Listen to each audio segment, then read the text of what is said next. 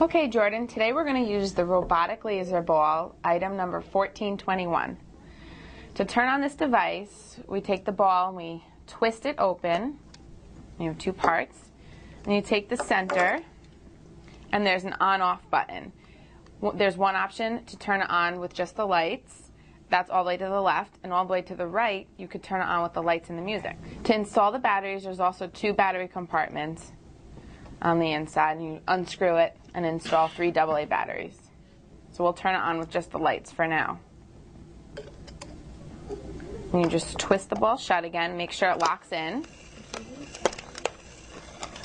and release it. And then we can untwist it and put lights and music. And this tray is nice also so that the ball stays in one place And you can look at it. and you can look at it. Right. Okay, let's try turning on the music. I want to hear what music. Ready? Swipe it. Wow. What color lights do you see on there? Blue and green. Blue and green. It sounds like a So this is good for visual tracking and visual attention.